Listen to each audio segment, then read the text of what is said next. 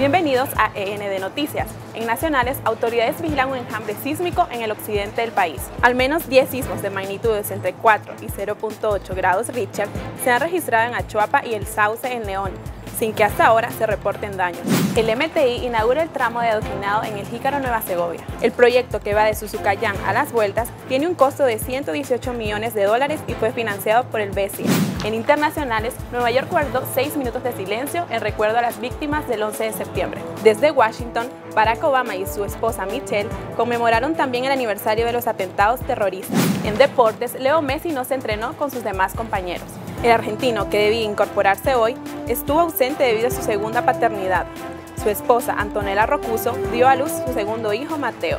En fama, Donald Trump es ahora el dueño del 100% de Miss Universo. El magnate multimillonario compró la mitad de la NBC de la organización Miss Universo y resolvió todas las demandas contra la compañía mediática. Para informarse más de estas y otras noticias, visite nuevodiario.com.ni y nuestras redes sociales.